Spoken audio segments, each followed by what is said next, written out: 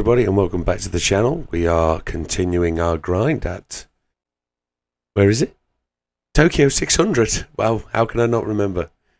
Here we are today's today's car of choice. It is the Lamborghini Murcielago. It is probably one of the most iconic cars I can remember from from my early days. I say early days. I was going to say childhood, but this car isn't that old, to be honest. It's uh, one of the most defined Lamborghini cars of my growing up. It was the one that I would choose to want to own today.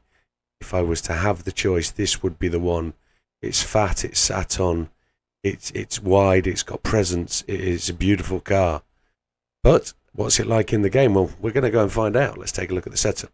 So this is tuned for 600 pp for the Tokyo race. We're in at 599.85. It's got 576 brake horsepower. Fully customizable suspension. Everything is default, nothing changed. Fully customizable diff with the torque centering vector center differential, which I'm going to change to 50-50. We can change that later on if you find the tyre wear a bit excessive. Downforce is tuned to my liking. Uh, at the front it's 118, on the rear 280. Fully customizable ECU reduced to 80. Nothing else changed there on the ballast or the performance. You could probably add weight if you want to and take the power up a little bit. I don't think there's anything need to. Transmission, fully customizable manual purely because it reduces PP. Top speed is set to 350 on the gearbox. We have air cleaner, silencer, exhaust manifold and the brake system all on racing. Brake controller which we're going to push forward to minus 3. We have the racing carbon, uh, the racing clutch and flywheel. And there's also the prop shaft there which is a level 50 item but it doesn't change PP so I don't really think you need it. So if you're not level 50 don't worry about it do without it. We have the increased body rigidity there just added to it. Let's go and take a look in the GT shop. So the wheels are standard. We've just set them to wide, which you can do. Custom parts on the front, we have Type A. On the rear, 10,000 points for getting. Going to be the custom wing set high, Type 20 on the rear. As you all know, that's the that's the go-to set for me because it reduces PP and it's the most available downforce and then you can change the downforce depending on how much PP you want to add. In terms of raising items, there's nothing there to give it. And again, on the other, anything we'd really want to do is change the front grille. Feel free to choose what you like as and when you like. Owned wheels, as you can see here, we will just be applying the offset to wide. Offset to wide, and you can see that happen. There's not a massive amount that happens, it just pushes the wheel out and the PP is at 599.85. For those people that know the race, this is 12 laps. Settings will be assists, traction control 1, weak ABS. Probably need to go to default really because it's not a race car. And counter steer assistance is on strong. Assists we've just done, it's controller settings. I'm on a Fanatec GDD Plus on a GT Extreme wheel. We've got force feedback max torque 7, force feedback sensitivity 10. So, for most people that know, this is a car of tuned street cars. Uh, probably bordering just on the exotics with some of the classics, but nothing in the supercar. And the Murcielago really does fit in the supercar sort of fit. It's one of the early days of what would be known as supercars. So let's see how it performs. We haven't overly tuned it. So as it comes down to what it's capable of. We've got everything set to where it needs to be. The key thing for us is be able to do six laps. If we can get to six laps, we're pretty much set on where we need to be. Just going to squeeze our way up here down the outside. Try and make our way down. You can see the track is quite wet. Mr. Gallo leads the pack with Fraga in second and here's Al first. And we're going to try and make our way up somewhere around Blazan. We're going to break on the 200, give it everything. We take a touch from the rear. We don't mind that occasionally. Trying to preserve that clean race bonus as early as we can and as long as we can. Mr. Beauvoir looks like he's up for the fight today. And I think that's where our battle's going to be, looking at how fast we are. If we can just hold this car in fourth gear through here. Might be better being fifth, we might save a bit of fuel, because I think fuel is going to be quite close and critical. Mr. Beauvoir held his line pretty well there. He wasn't going to be bullied off it. Let's see what happens here. Yes, we managed to squeeze a nose in front. Keep the power in. The car's got plenty of grip. We haven't overly forced this car onto poor tyres. Sports hards are pretty reasonable here. The car has got plenty of power and the four-wheel drive really does help it. I'm hoping to bring you a series of Lamborghini videos here for all the cars. I was kind of suggested that one of the Lamborghinis has an engine swap and I haven't been able to find it as yet. So we're just going to progress our way through these cars and see which one of these beauties, see if all these beauties can can uh, can do the thing. Actually, uh, working with Mr. Ridley at the moment on a tune for a BMW M3, which we've got tuned perfectly for power. But at this moment, I can't make it turn or, or brake. So we're just going to have a little play with that. And the M3 is the last one that came to the day game. So we're chasing Blazan, end of the first lap at 223, some three seconds quicker than normal street cars. 5.3 laps of fuel remaining, so it looks like we're good. Tyres look good for the whole race. If we can get away with using these tyres and not having to change them, that's going to be four seconds saved in the pit lane. Got past Blazan into sixth place. We need to uh, face down Suswillow and Cookerman. What I haven't really made any notice of yet is just how quick this car is in a straight line. It feels a little bit slow through the acceleration phase, but turning wise it's beautiful. Lots of grip. We should be able to slide this car effectively. Get it through the corners and deliver us to the best bits of the circuit quite nicely. That's Mr. Hizal just dispatched and Mr. Fraga just wants to uh, own the road a little bit which is not a problem we will uh, dispatch him thoroughly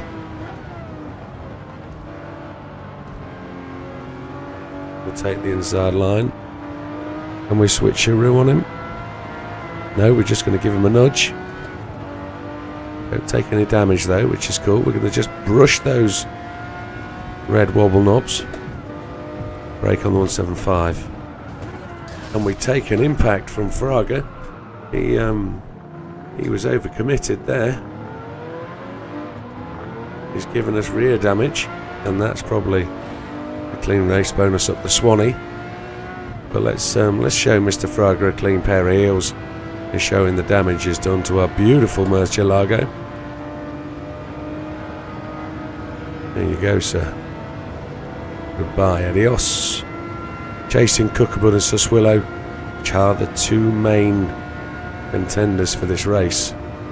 4.3 on the fuel, we're good. We're going to have to stop on lap 6. Doesn't look like we're going to have to take tyres, which is tremendous. This race dries out, so the grip gets better, but the tyre wear becomes more aggressive.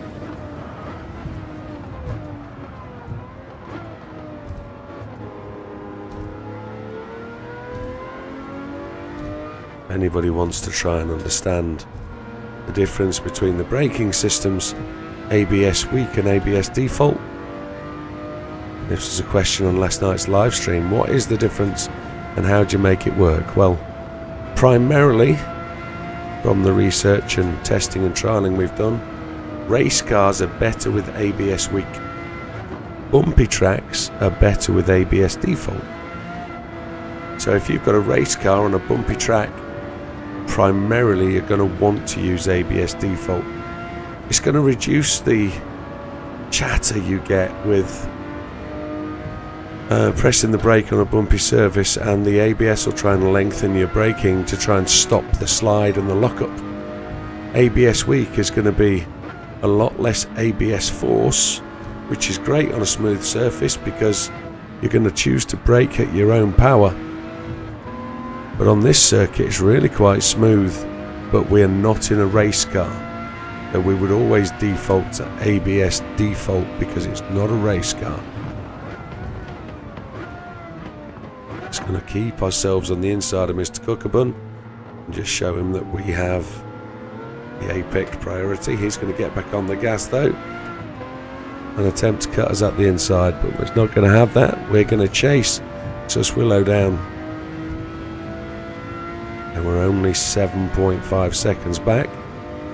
Our last lap was a 210.9, so it's, it's a very capable car. It's going to be certainly capable of winning this race. 210.5, so getting better. I think maybe with comfort softs we would be struggling now to uh, to keep this pace. The tyres won't be lasting.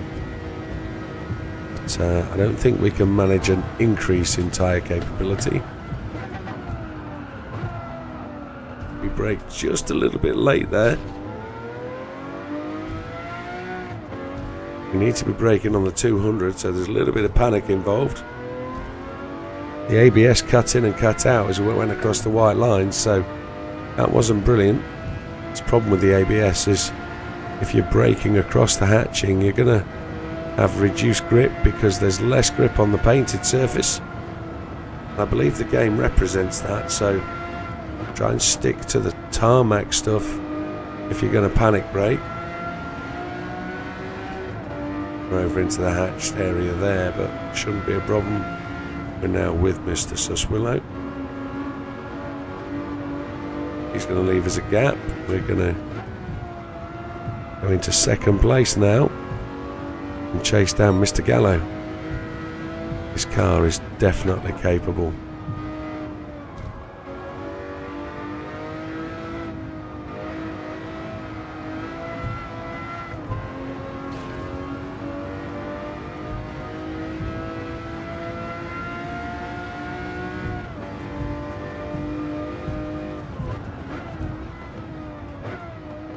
Only thing it does need is it needs that little bit extra braking distance. The 50-50 torque split is perfect for tyre wear. If you want to play with that torque split and give yourself a little bit more rear power so you can enjoy the drifty stuff coming out the corner, do so. We don't have the ability to add 555 here with a magic diff setting because it's four-wheel drive. However, it really doesn't need it. The car is really comfortable and confident and stable. We're on to the lap that Mr. Gallo will choose to pit. He's five and a half seconds ahead. Mr. Suswillow, who is the main threat in the race, is just 0.6 of a second back. Let's break on the 200. Expect Suswillow to catch us up a little bit under brakes. Much better when you brake on the 200 much better.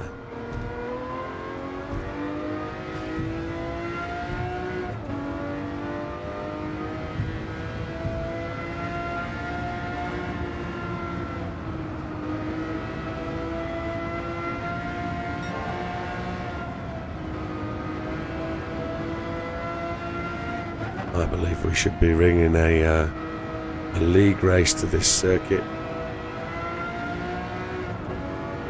Streetcar kind of road car sort of sort of basis.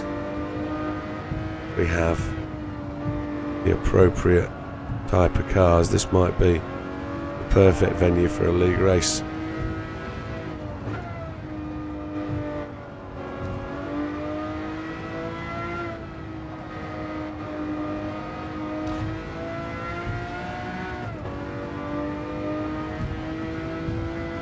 So, charging down to the end of lap 5, we are catching Mr. Gallo. He is only 3 seconds ahead. Breaking on the 200. We could probably look to break on the 175 there now.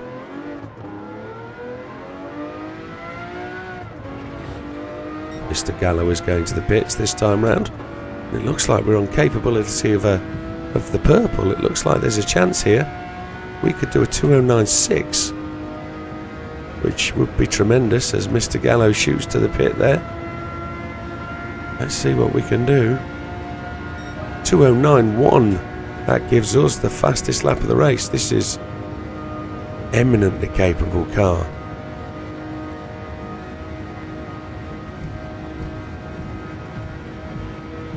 We've done a fair few miles in this car. We bought it second hand. It's just about to turn 16,000 miles. And it might do that before the end of the race. So if we can uh, watch it do that, we might be able to celebrate the 16,000, which would be tremendous. Who else does that in their private car?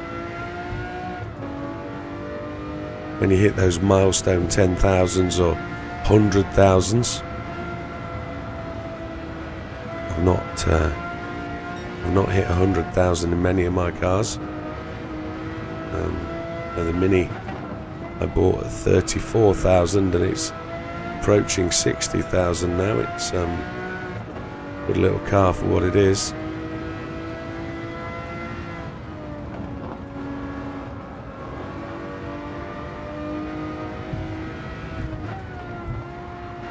I don't know if this is going to make it. Probably going to end up shy of the uh, 16,000 because not an overly long circuit, is it? eight seconds ahead of Mr. Suswillow. And we're heading in because we don't have that extra lap of fuel. Engine note on this car is beautiful. Gear changes like sound sublime and really clinical. Here we go then, heading into the pits. I'm expecting Suswillow, Gazel, sorry, Suswillow, Kukkaben, Hizal, Fraga all to go hooning past. And we will probably drop into like 7th or 8th place. We're not changing tyres. We're going to take the fuel. We're going to save 4 seconds. Suswillow's come in, Kukkaben's carried on, Hizal's carried on. Who else is coming in? Need 6.2 laps of fuel. Fraga coming in. Fraga goes past. 6.3 it looks like we took.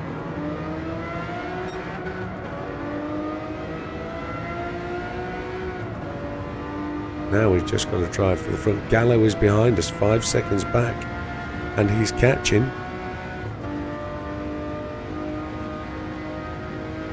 We is not. He's a second behind. Here it comes. No headlights on, or does he? Gonna brake on the 175. Look how fast he comes in.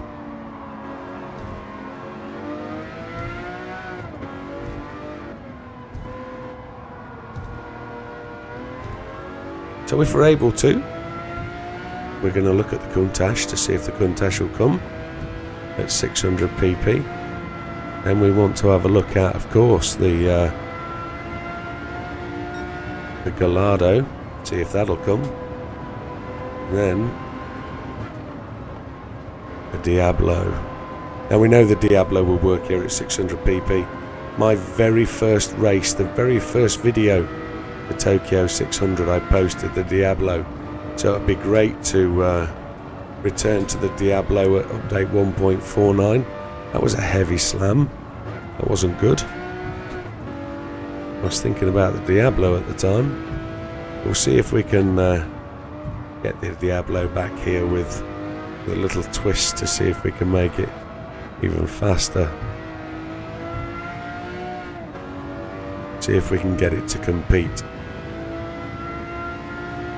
Don't think we're going to be doing a custom race at the end of this series to see which one's the fastest. I think we're all going to lose to the Escudo.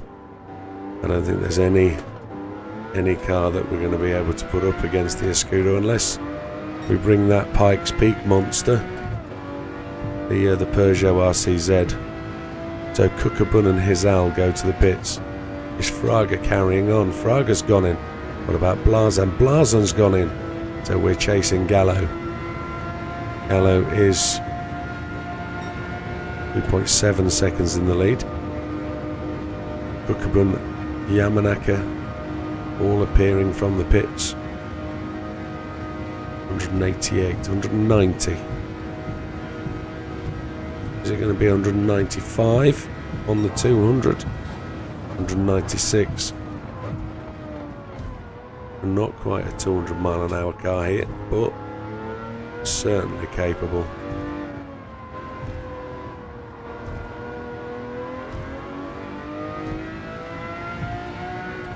Really starting to enjoy this Tokyo race. I know I have done for a long time, but I'm enjoying it for other reasons now. We're, finding more cars with the, with the new grip that comes under update 1.49, 1.50.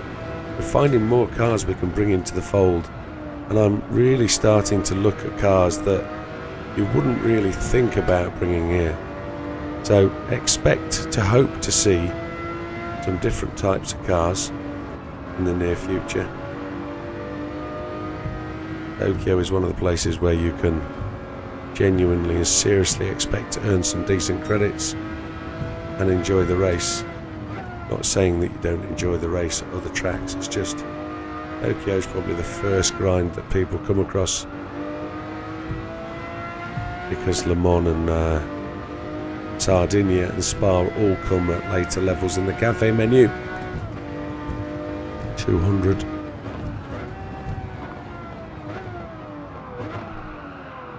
With Mr. Gallo now. We'll apply pressure to him as he's going to start to look to the pits again. Ooh, we got wild there, didn't we? Oh, my Opa. No damage though. That just slowed us down. I'm expecting him to go one more lap and then it's all about us charging to the end of the race. Fastest lap is now Mr. Gallo at 207.733. I think he's taken that away from us. I genuinely don't think we're going to be in the world of being able to beat that time.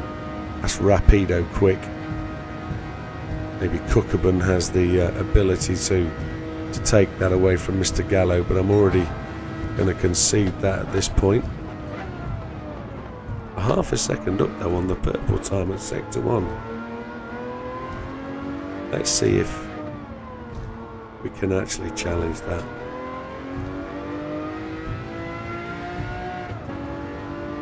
A little bit of a short shifty there. The car steady into the corner. Steady and stable. 0.3 up.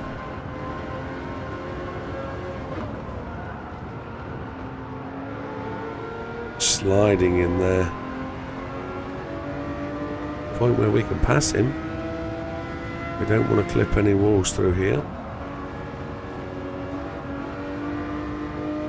Is that a message on PS? Catch that at the end of the race.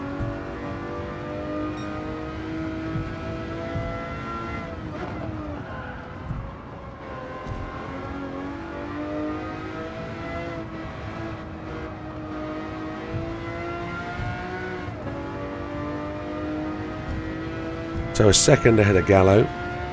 He's going to the pits behind us now, I believe. And we are... Ooh, failed to brake. Across the white line, whatever you do. We brake at the 200. A little bit of panic set in there. As much panic set in as I got to the end of last night's league race. Oh my. And that was a 210 for the last lap he sort of let the time slip away at the end there with that missed hairpin. 2090, so we've put a faster lap in than our personal best. Gallo has gone to the pit. Kukubun is 8.4 seconds back. We're now going to see if we can. We're never going to get 1.47 quick, 1.4 seconds quicker. But we're going to see if we can go breaking on the two. We're still up on the purple time.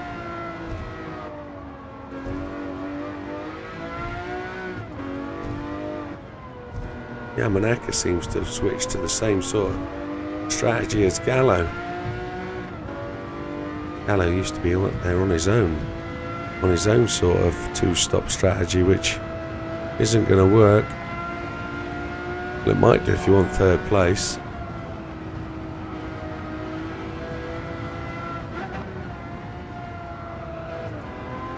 Getting fourth gear early, see if we can bounce off the wall. Third gear it is.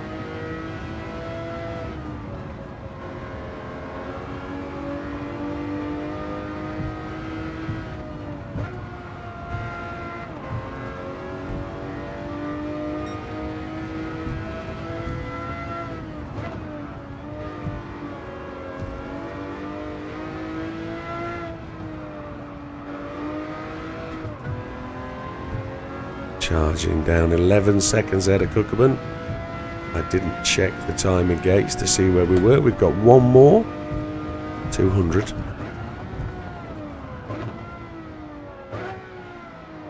See how far we are away from possible purple.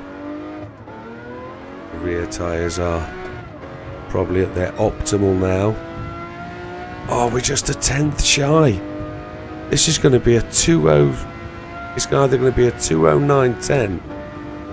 It might be a 209.10, yes.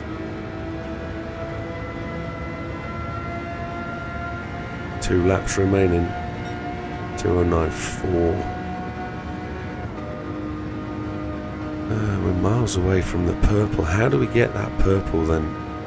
We're good at the end of here on speed. 12 seconds ahead of Cookman. Looks like that pursuit has given up.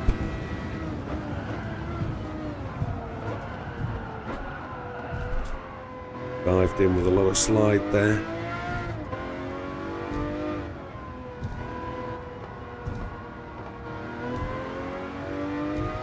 Now we sort of purple by 0.364. The last couple of times we get to this timing gate,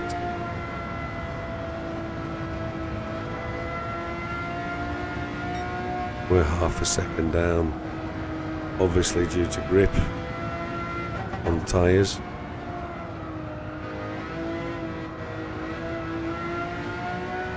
Third gear is so much better through there, but the tyre wear across the range is really good. You don't really need to make many more adjustments to make the grip. Oh, we hit the wall so hard.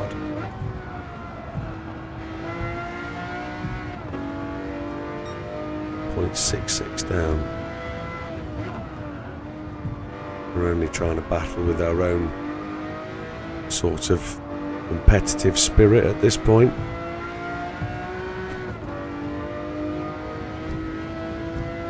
Fifteen seconds ahead of Cookerman. Trying to see if Cookerman's under threat from anybody behind him. One thing we haven't managed to do much in this series of races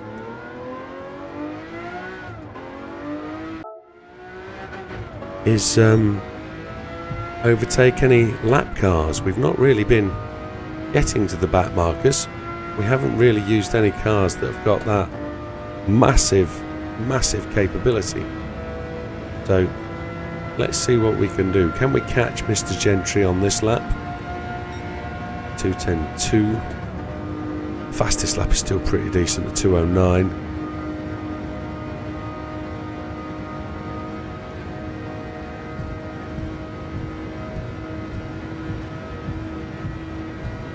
Go then. On the 2-0, still three, two thirds of a second up on the purple. So we're faster down the straight than Mr. Gallo was.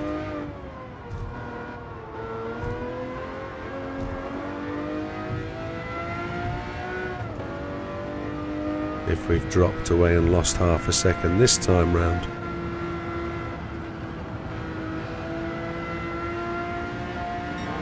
No, we're still up. We're up this time.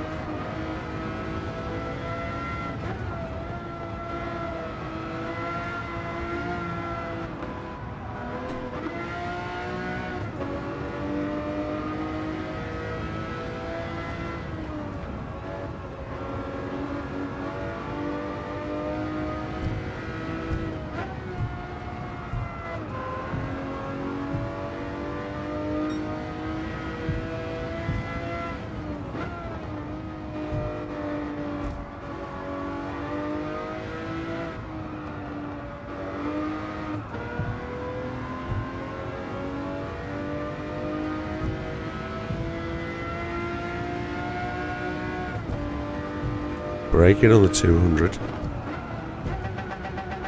Again, I've got to look at the timing gates. It's going to run wide a little bit here. But as we go on to the final lap, we're getting blue flags. There's Mr. Gentry, so this is the last lap. I mean, As we run to the last corner, this is the last lap. We're not quite going to catch Mr. Gentry. But we're 18 seconds ahead of Kukabun, who leads out Gallo, Saswillow in fourth, Braga fifth, Izal in sixth, Blazan seventh, and Beauvoir eighth, as the Murcielago demonstrates its capability. Very, very capable car and one that you should have in your garage as an available 600 pp racer. It is pretty decent. So 26 minutes 45. It's the fastest of the most recent cars. Very much definitely alongside the um, F403, F430, sorry, F430 Scuderia. Very much definitely up in that sort of window. Kukabun, 18 seconds behind.